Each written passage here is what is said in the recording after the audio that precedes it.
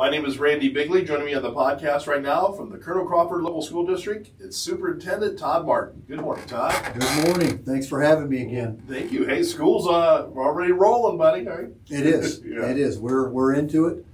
Uh, athletics is full bore ahead, and we have uh, fall festival, Mhm. you know, underway, and the pancake breakfast, and Yeah, multiple alumni groups have already used the facility to good. have their 50 year reunion, and you name it. Right, good. The Good to district never sleeps, which is the way we want it. All right, so what's happening with the district? Well, I'd say the one big thing would be the report card came out this this month, and people got kind of got a taste of what the schools look like compared to one another, and, and I felt we did really well. Good. We scored up in the, the top tier of the schools in the area, and you know I, I always say we got to keep that perspective.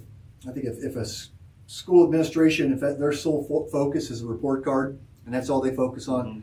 they miss out on so much. They miss out on relationships with the kids. They miss out on engaging the community. I mean, that's a small piece of what we do is the report card. Sure. And and I, I, I stress that to my staff and my administration. You know, it's important because we can use those results to gauge our professional development, what we're going to do with the teachers to make them better, you know, what we're going to provide material wise to the kids to make them more successful. But at the end of the day, if kids don't want to be in your building, Yeah. you're not doing your mission, you're not doing your job. Sure, makes sense. But looking Yeah, at it, yeah. that, that's a new system. I kind of like the system. It's not the A through F anymore, Mhm. to where you have a dirty taste in your mouth if you don't Right. score well. It's a star system. Uh-huh. You get five stars, uh, uh, and you can kind of do a numerical based on that. So you know, we did uh, achievement, which is how the kids did on the, the testing Mhm. overall. Uh, we got a four out of five, which uh, exceeds expectations. If you get a three, three star, you met expectations for the Mhm. state. I don't know why they do that. It used to be with the, the grade system, A through F, a C was meeting ex- expectations. I don't know about you. When I brought a C home to my parents, Right. I wasn't meeting expectations. Correct. Right, same here. Uh, progress wise was is how how the kids did compared to the year past. Are they showing growth? And we got a five out of five. I mean, Good. I think if there's an Wow. indicator, that's a good one. You Yeah. want to continue to have the kids show growth. Yeah. We got a five on that. Gap closing, your different subgroups, uh, your minority groups, different Uh-huh. groups. Are they are your groups keeping up with one another? And we got a four out of five there. And Good. Yeah. graduation. What I don't understand the graduation piece. Yeah. We scored a ninety-seven point six, which I think is pretty daggone good for a graduation I think so. Yeah. In yeah. a small district, that might be one or two kids. Right. You know, you, you try to save everybody, but sometimes you throw a life preserver out there and you try to drag them in. You can't. Yeah. You do everything you can. You got a four. Yeah. So I, I'm thinking you get that five, you need perfection. I think so. Right. Yeah. I don't, I don't live in a perfect world. I don't know about you. Right. But but we're happy. We're happy with that. The attendance I was happy with. Given we went through the COVID the last two years, we still maintained a 93, 93.5% attendance, That's even great. through all the sickness last year. And even a COVID year, I mean, we always get above the 90 mark. We, our kids come to school. I mean, I'm, I'm really pleased with that. Well, good. Yeah. Yeah. So, like I said, if if we can achieve these results, still continue to look to grow, and and still provide an environment that kids feel safe and kids want to come to, and families want to bring their kids to, you're you're meeting your mission. Yeah. If you miss out on any of those, you need to work a little harder. So I'm, I'm very pleased. I'm very pleased with how things turned out. Uh, we had a great event on the 23rd, 23rd September, uh, the Carey football game. We had the pancreatic cancer night, Mm. and boy, the the, sh- the flood of purple shirts out there. You know, it was just last year we lost Tag, and Sure. Right. I think everybody's still fresh with everybody, and the mission of of supporting that move is is strong at Colonel Crawford, and it was strong with the Carey. You know, the, you look over there that they had people in purple, and it was it was just a good event. Cool. Yeah. The volley for the cure is always big with the volleyball, and that, that occurs with the Bucyrus game. And I love it. I you get to recognize survivors. You know, you get to showcase them. The kids walk them across the court, and you read a little bit about the survivors and how long they've been cancer free. And it's just, you know, having had a bout of it myself Oh, yeah. Sure. a couple years ago, it's it's awesome when you can showcase those survivors, and that's that's a big event for us. Touch again on school closings. As we get closer to what the almanac calls a bad winter, right. oh boy, Right.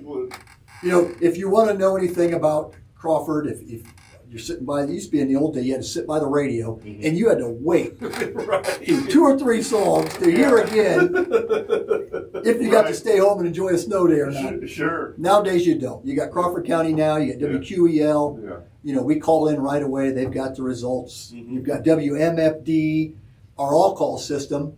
Uh, if you're getting a call at 5:30 a.m., it's probably something you want to answer. Right. Sure. Right. Yeah. Uh, Channel 10 News, we put it out there, and our website we always post. So, if anybody wants updates, they're there. You just Mhm. at your fingertip. Yeah. You can find it pretty easy. So we try to keep people updated. Typically, if the weather's not horrible, we'll go delay first to see if the roads will improve and if it if it looks compromising at all. Typically, I'll close, but I try to get that announcement out by 7 a.m. Okay. 7:15 at the latest. So that's what's coming up uh, down the road as we yeah. get, get into Get to look winter. forward to that. Yep. Uh, another piece, applying for a safety grant. We have a Yeah. safety grant that's out there, and you can get up to $100,000 for a building. So we are going to apply for a boatload of money. One, I have cameras, needs for more cameras. I had my SRO go through and identify dead spots. Mhm. So we're looking to cover all areas that we can cover with security. We have over 60 cameras now. Wow. Yeah. So we're going to keep adding Yeah. to that and try to, you know, make it even more safer environment. Replacing the older doors that are left on the north building. We've been repla every time a grant comes open, I try to replace more doors on the north building, and this grant could uh, finish up that project. We'd have all newer doors, newer windows, and I think the district facilities are, are heading in the right direction. We're looking at lighting up the stadium area. If uh, you go to a football game and you got to walk from the north parking lot down the stadium, it's a darker area. hmm So we are uh, looking to put a couple light poles and a big security light on the stadium facing so we can light up everything. Oh, good. So if you're there, Mhm. you'll see every footstep you take. Sure. See that mud puddle that you don't want to miss. right. sure. Uh, you, you stop me if we need to do any type of break here. No, you're fine. Go I'm on for a it. rule. Okay. Go for it. I, I do this every year, and I think it's important that I continue to do this to thank our, our volunteer groups. Our volunteer groups are so amazing. Mhm. If you look at those concession stands at football games where they are just bombarded with people, uh, those bratwurst and uh, the September 23rd Carey game, those fresh cut fries, Mhm. they don't make themselves. Right. Sure. Right. Right. And I don't make them. Right. We have a group of people that's Right. just amazing. So the athletic boosters, uh, they do a great job. They probably spend sixty to hundred thousand dollars a year Wow. on the facility, on the athletic programs. They, it's it's a great permanent improvement piece for us. And th- they do the fall festival every first Saturday in October. The Corvette raffle, they, Mhm. they bring in a lot of money. They, they work very hard. Then that's something that people from all over the United States get involved with, isn't it? It is. Yeah. Th- those tickets are mailed all across Yeah. the country. Uh, and there's a happy winner every year that Yeah. drive away that Corvette. Nice. And the, yeah. the reverse raffle is always a big event in the spring. It, it Yeah. brings in a lot of money and brings people together for a fun evening. Sure. Uh, the music boosters.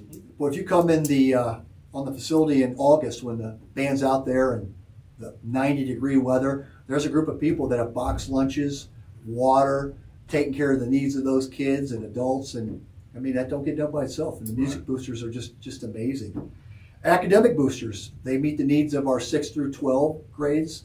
If they have an academic need in a classroom, uh, field trip, uh, feed the staff for teacher appreciation, the academic boosters do a great job with that. Uh, for the lower levels, K5, you have the PTO, and they raise a lot of money. They bought uh, Chromebooks, they bought Chromebook carts, they brought they bought a lot of things over the years. Uh, they, they do a great job with elementary. You have the Colonel Crawford Lions Club, which I'm a member. They do a great job with student scholarships, Student of the Month awards. Uh, they're very active in, in providing for the needs of our students and teachers, and we're very blessed to have them in the district. And Pancake Day is October 8th from 7 to noon, $6 for a ticket. Yeah. Call me if you want a ticket. Show up. It's, it's a great event. It's a great outreach, and it's at the uh, cafetorium at the K-12 building, and it'll be pretty well attended. It's always Yeah. it's a good time to sit down and just talk to people, stress free, and have some pancakes. Sure. Right. Then you got the Colonel Crawford School Foundation. They awarded uh, over twenty thousand dollars of grant requests this year to our teachers uh, for classroom enrichment, to field trips, you name it, and, and they do a great job. And that's a lot of business area business people get together once a month with me, and we sit down and we look at uh, how we can meet the needs of our teachers and kids. So we got some great, great volunteer groups, and, and we're blessed. If you don't have those groups in your district, your staff would be just overrun. You couldn't do it. Yeah. So these people are, it's vital. And if you're not involved and you want to get involved in those groups, I urge you to reach out because some of the members of this group have been doing it for a long, long time and they would love to see some new blood. So if you, uh, you have energy and you want to want to do good for the district and the kids, and that's what we do. It's for the kids. Mhm. Reach out. You know, I'll, I'll plug you in. Contact me. I'll plug you into a group, and we'll let you have some good times and fun. Awesome. Yeah. Yeah. All right. All right. And then I'd be remiss if I didn't include. Talked about the academics. We're pleased, Yeah. very pleased with the academic results. Our fall sports have been dynamite Yeah, this sure. year. Yeah. I mean, we are really, really blessed. Uh, you look at the football team sitting at five and one right now. As I'm Mhm. doing this show, we're five and one. Yeah. Cross country, county champs, boys and girls. Uh, girls golf, four. I think it's a four-peat. They were the N10 champs again this year. I think it's a fourth time in a row. That's great. Girls yeah. golf, and they're looking to make a, a nice run. And I, I think the girls cross country team team is ranked very high. Could make a nice run as we get into uh, the tournament. Volleyball sitting at 12 and three. Yeah. I mean, it's we're blessed. Yeah. It sounds like it. Yeah. I couldn't be happier as a superintendent. Yeah. And again, it, it's all the little things. If you just focus on one piece, you, you focus on athletics only, you're, you're missing out. You focus on the academics only, you're missing out. It's the full package. Right. It's, it's academics, athletics, relationships, and community engagement. If we can get the community on the facility and involved, I, I think you've created a, a rock star environment. Yeah. And that's what we want. We want Colonel Crawford to be an environment where people want to come, want to be part of. Well, Todd, it's man, lots of great things going on. in ah, I just talked your ear off today, didn't I? I love it though. Thank you so much. I'm glad. I'm it's great to hear the good news. Well, I appreciate the opportunity to share it because I, I think our community needs to know that you do a great job for us, and we appreciate everything you do for us. Awesome. Thank you, Todd, so much. Thank you.